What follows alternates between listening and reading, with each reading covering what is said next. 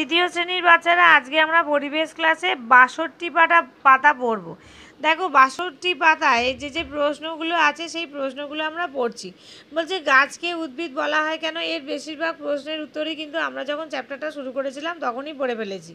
বলছে, মাটি ভেদ করে ওপরে ওঠে বলে গাছকে উদ্ভিদ বলা হয়। বৃক্ষ জাতীয় গাছ কাদের বলে না? যেসব উদ্ভিদের কাণ্ড শক্ত।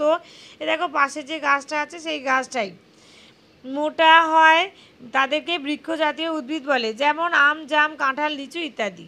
আচ্ছা এবার বলছে লতা জাতীয় গাছ কাদের বলা হয় না, যেসব উদ্ভিদের কাণ্ড সরু, নরম, তাদের লতা জাতীয় গাছ বলে। আচ্ছা যেমন লাউ, কুমড়ো, পটল, পুঁই, উচ্ছে ইত্যাদি। আচ্ছা গাছেদের প্রধানত কটা ভাগে ভাগ করা যায়? গাছেদের প্রধানত দুভাগে ভাগ করা যায়, একটা হচ্ছে সবজি আর একটা হচ্ছে পরভোজী উদ্ভিদ। এগুলোও পড়েছি আমরা, সবজি উদ্ভিদ কাকে বলে? যেসব উদ্ভিদ নিজেদের খাদ্য নিজেরাই তৈরি করতে পারে তাদের সবজি উদ্ভিদ বলে, যেমন আম, জাম, কাঁঠাল, নারিকেল, এরা নিজেদের দেহে নিজেরাই খাদ্য তৈরি করতে পারে। আর পরভোজী উদ্ভিদ কাকে বলে?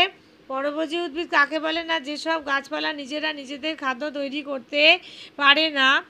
ঠিক আছে? খাদ্যের জন্য আবার অন্য গাছের ওপর নির্ভর করে তাদের পরভোজী উদ্ভিদ বলে।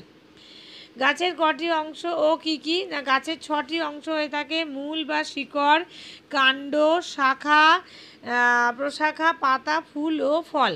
আচ্ছা এবার বলছে কাণ্ড কাকে বলে? না, মাটির ওপরের দিকে যে অংশ, এই যে এটা যদি মাটি হয়, তাহলে গাছের একটা অংশ মাটির নিচের দিকে আছে এবং একটা অংশ মাটির ওপর দিকে আছে। তাহলে গাছের যে অংশটা মাটির ওপর দিকে আছে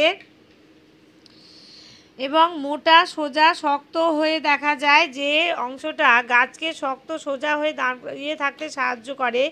সেই অংশটাকেই কি বলা হয়? কাণ্ড। হুম, এবার বলছে কাণ্ডের কাজ কি কাণ্ডের কাজ কি কেন কাণ্ডের প্রয়োজন? না, মূল দ্বারা শোষিত জল।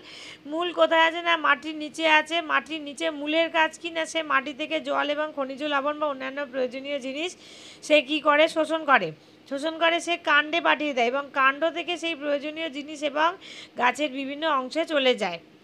তাহলে কি বলছে? না, মূল দ্বারা শোষিত মাটির নিচের রস, শাখা প্রশাখা বা ডালপালায় পৌঁছে দেওয়া কাণ্ডের প্রধান কাজ। তাহলে কাণ্ডের মাধ্যমেই কিন্তু কি হয়? এই সমস্ত প্রয়োজনীয় জিনিসগুলো গাছের অন্যান্য জায়গায় চলে যায়।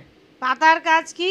পাতার কাজ হচ্ছে গাছ পাতার সাহায্যে, এই যে পাতার একটা ছবি দেখছ, সবুজ রঙে তা পাতার কাজ কি না? গাছ পাতার সাহায্যেই নিজের খাবার তৈরি করতে পারে। তাহলে গাছের পাতায় যে ক্লোরোফিল আছে, সেই ক্লোরোফিলের সাহায্যেই কিন্তু সূর্যালোকের উপস্থিতিতে এবং জল নিয়ে গাছ